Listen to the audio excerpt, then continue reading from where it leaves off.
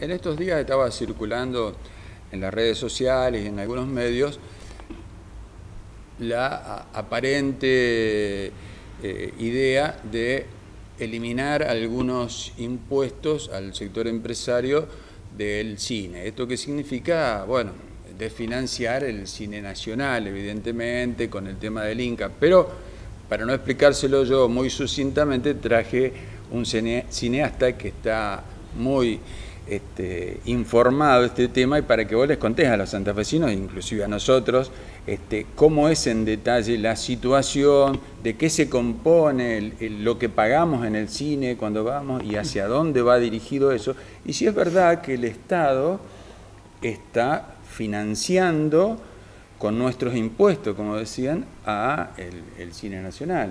Bien, sí, para entender la problemática en general hay que tener en cuenta eh, cómo se financia el cine nacional. El cine nacional se financia con impuestos, pero no con impuestos del contribuyente de a pie, sino con impuestos a empresas. Eh, en principio, el, 40% del dinero que maneja el Inca proviene del corte de entradas.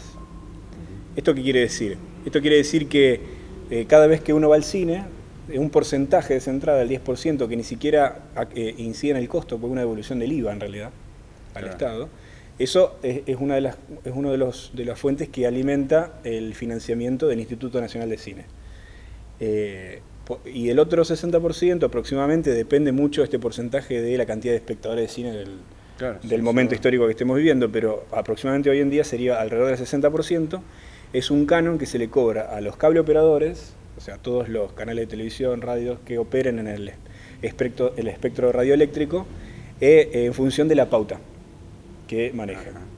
O sea que eso lo paga en realidad el que pauta en los canales de televisión y en las radios. Claro, y el que paga, la, el que publicidad, paga la publicidad. el que, el que. Y es menos de un 1%, un 0,065%. Muy poquito para, cada, eh, para la unidad, para cada una de esas, de esas pautas, de esas publicidades, pero para el cine es muy importante, porque es un, porcentaje grande de su financiamiento. Lo que hay que tener en cuenta es lo siguiente, digamos, eh, el Estado en Argentina es, el, es el, aquel que administra este instituto, que es un instituto, un ente autárquico, porque no depende financieramente de otros ministerios, o sea, no, pide, no le pide plata al presupuesto nacional, no le pide plata a Hacienda, maneja sus propios recursos a través de estos tipos de financiamiento que están regulados por la ley de cine, están determinados por la ley de cine, que es una ley del año 68 y reformada en el 94, ¿no? es la ley actual, es data del 94, y este, es uno de los sistemas más ajustados y mejor planificados que existen en el mundo para financiar el cine. De hecho, es modelo para otros países que han reformado sus leyes. Este es un, modelo que se aplica en, otros lugares. Colombia, digamos. Colombia, México, Inglaterra, Francia. Para citar algunos para citar. Eh, y los únicos países que eh, tienen otro sistema de, de, los países que tienen cinematografías importantes como el nuestro, que no tienen ese, ese sistema son países que tienen una masa poblacional muy alta y que tienen este, entonces un corte de entrada propio para cine propio muy importante, como el caso de Estados Unidos, de la India o de China. Pero el resto de los países de tamaño mediano, podríamos decir, y los de tamaño chico usan este sistema de fomento, digamos. Eh, o sea que yo pago impuestos no. que favorecen al cine cuando cuando voy al cine y pago la entrada. O cuando, o cuando pautas o cuando haces publicidad en un, pauto, claro. Sí, tengo que tener digamos que ser un dueño de algún canal, por ejemplo el que estamos ahora que es Cablevisión. Exactamente. Por eso se dice que se autofinancia. Claro. ¿Por qué? Porque es un impuesto dentro del mismo rubro, dentro de la misma actividad. No es que alguien va al supermercado, compra un paquete de yerba y algo de eso que, del IVA de ese después va al cine. Eso no sucede tampoco cuando paga los impuestos y tampoco con, cuando aporta jubilación. Eh, cuando aporta con, eh, a su jubilación, digamos. Eso no, eso no va a parar al cine. Y eso es una cosa que se construyó mediáticamente para, en principio, desprestigiar la labor de los cineastas. Bueno, a ver, eh, contame un poco cómo se utiliza el dinero ese, es decir, eh, de qué forma se, financian películas, hay concursos, cómo es, es decir, no es que vos sos mi amigo, che, tirame, no. pase una película, ¿Cómo, ¿cómo, es el sistema? Si fuera, así, hubiera, si fuera así, hubiera un ilícito. Claro. Habría un ilícito y en ese caso tiene que, hay, muchas, hay varias denuncias, no hay muchas, digamos. Pues, este, hay algunos casos de algunas películas controversiales que han tenido problemas, pero estamos hablando de un mínimo, digamos. En el año se hacen dos, 200 películas.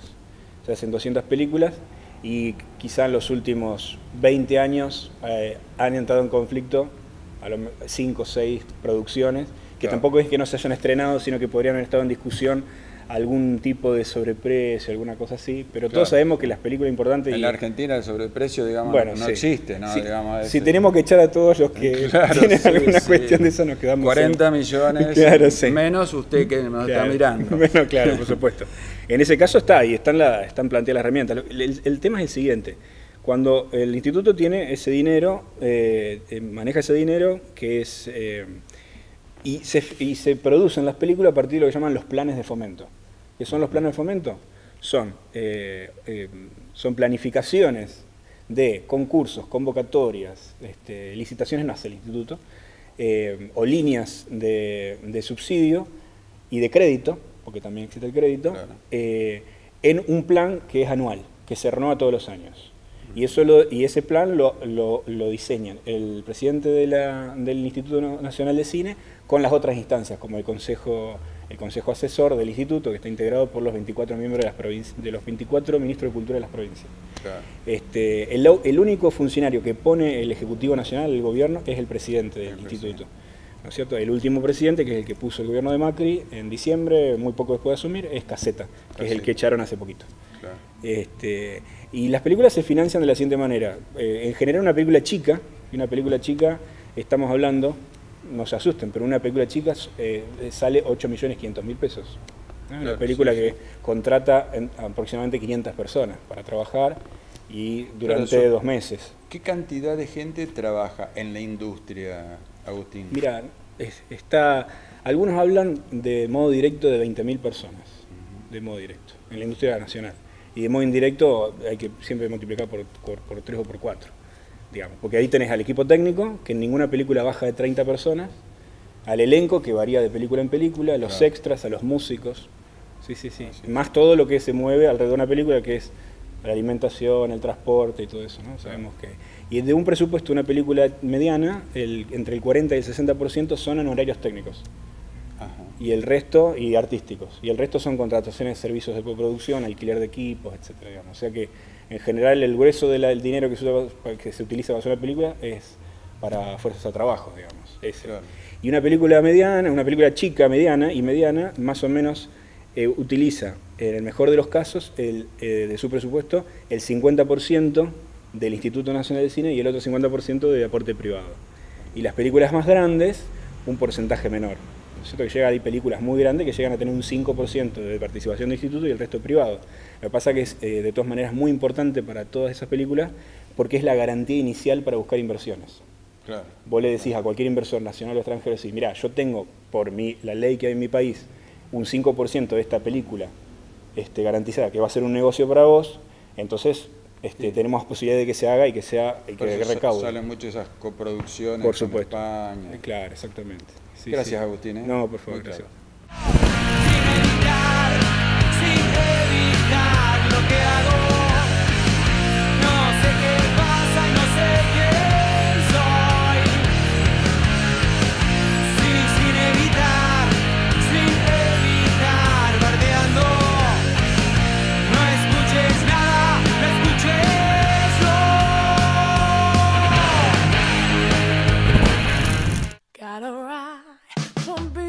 Red Passion es el nombre de la nueva colección Otoño-Invierno 2017 de Makeup de Lucy Anderson. Comprende base de maquillaje, corrector, rubor compacto dúo, cuartetos de sombras, labiales líquidos con efecto mate, en lo que es toda una innovación. También labiales con ácido hialurónico, esmaltes cremosos para uñas y esmaltes en gel podés encontrar toda la colección Red Passion Winter Collection 2017 en Rouge Perfumería.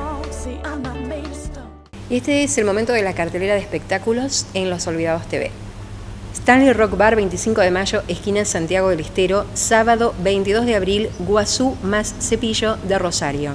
Domingo 23 de abril, 20-30 horas, muestra Soy Canto del taller de Silvana Parano. Lunes 24 de abril, 21 horas, segundo taller de danza afrocubana. Bonus class bachata tradicional. Inscripción al 155 020 732, cupos limitados.